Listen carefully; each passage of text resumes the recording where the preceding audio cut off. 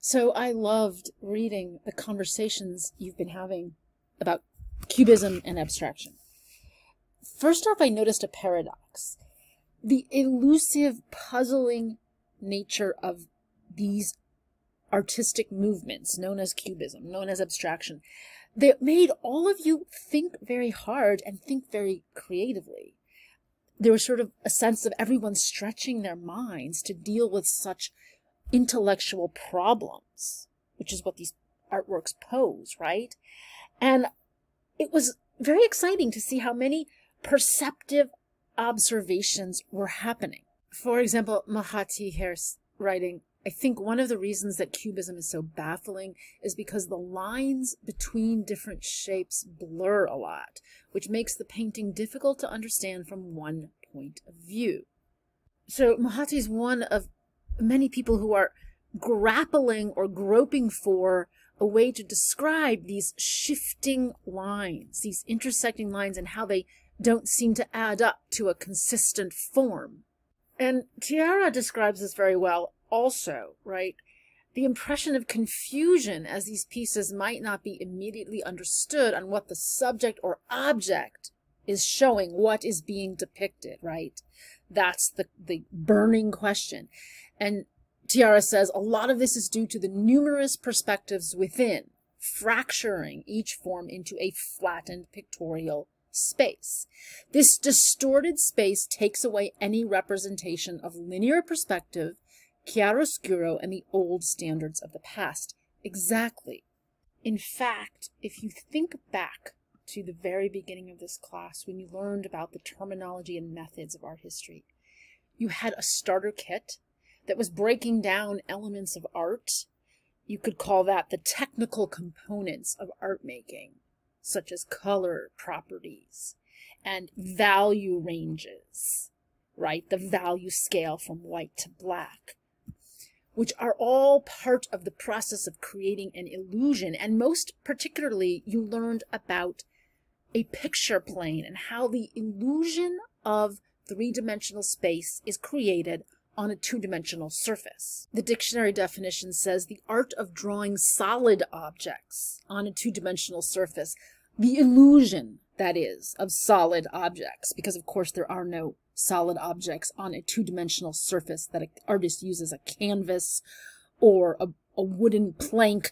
There are only illusions, but they feel solid because it gives the right impression of their height, width, depth, and position in relation to each other from when viewed from a particular point.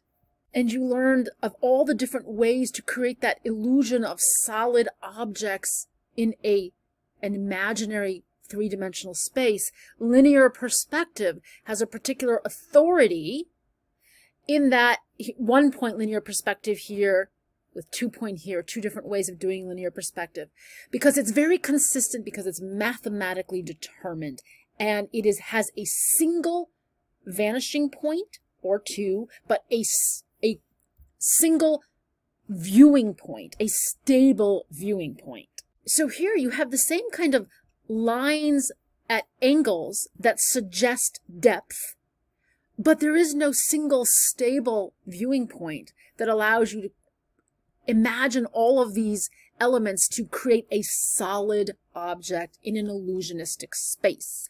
Some of these little cubes seem to project outward, some to cut back, but it's never consistent of a foreground and a background. It makes sense that cubism is called cubism because it's referring to these cubes that are the simplest way to represent the idea of an illusion of solid objects in deep space. But the illusion is being disassembled. So one of the things that's great to see in these conversations is how many of you were able to really skillfully describe the experience of being baffled. Unlike other forms of art that I can bite off pieces of, analyze, and maybe come to some conclusion, Cubism makes me feel as if I have no breaking off point to even begin to form a coherent idea. My eyes move too fast, trying to follow the forms as I think they would naturally lead, but partway I get lost in the maze of overlapping shapes and planes. A maze of overlapping shapes and planes. Look at how Grace arrived at a fantastic description of a Cubist painting like the portrait of Kahnweiler from the position of having been, of struggle, of struggling to understand it. And the problem, of course, lies not in Cubism, but in our own minds, which incessantly demand that the Cubist artwork should fit into the templates that we already have in place. And so we set ourselves up to be frustrated. So Edith very astutely says, you know, I find it confusing that about Cubism in that people are able to see a form within it, right? Like I can't see a form. Actually, she's right. There is no no coherent, solid form that is constructed in a systematic, consistent way that matches how we see forms in life.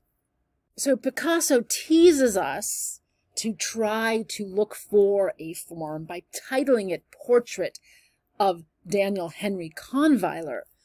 But there is no solid form. You can look and find things that you go, aha, maybe that there, those lines, those are fingers clasped. You can find little details on the suit that you start to pick up like stray pieces of a puzzle, as some people in the conversation beautifully suggested. This is puzzle-like. But the puzzle pieces are really hard to fit together. Some of them seem to be projecting out, some of them going back. Is it flat? Is it illusionistic? It's not consistent. So Picasso and Braque here are breaking from the idea that art is about mimesis. Mimesis comes from Greek and it goes back to the Greeks, the idea that what art ought to be doing is representing or imitating the real world. In fact, mimesis is the source word, the root word for memes, as we know today, memes. It's also related to the term mimicry, to imitate the appearance of the natural world. And this moment here, what Edith does is really helpful. She brings in this Picasso quote, which is critical. I paint forms as I think them, not as I see them. Seeing them would be the optical truth of what things look like. But he's saying painting for him will no longer be about optical reality, but about conceptual reality. And this relates to a wonderful insight that Tarras made, um, that besides just this revolutionary move of breaking up the subject into geometric fragments and separated planes, he talked about, where did it go? The color, the absence of color. There it is. He talks about the color. Why is it so reduced?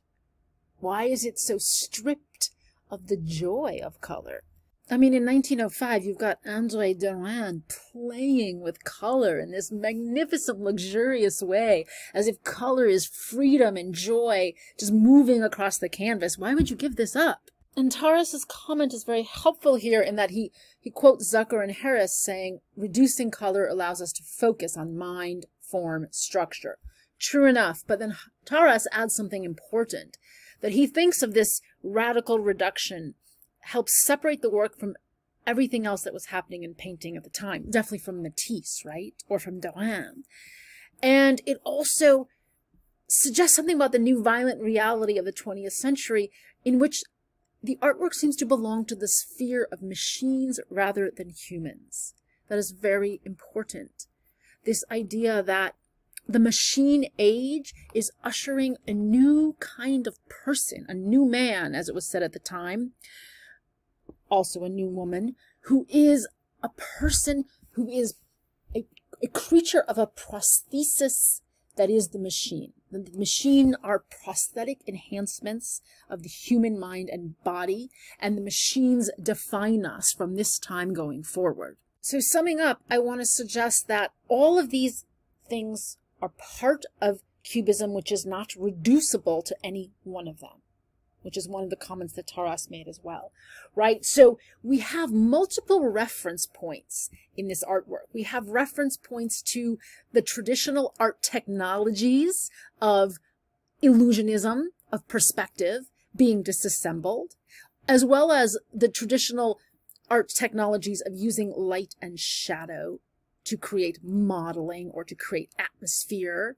and yet that's being sort of scattered to become a play on the surface. But we also have a a vision of the portrait, the person in the portrait and the person making the artwork as closer to mechanics and to science, as well as to popular culture of cafes and bars, than to the high culture of the past.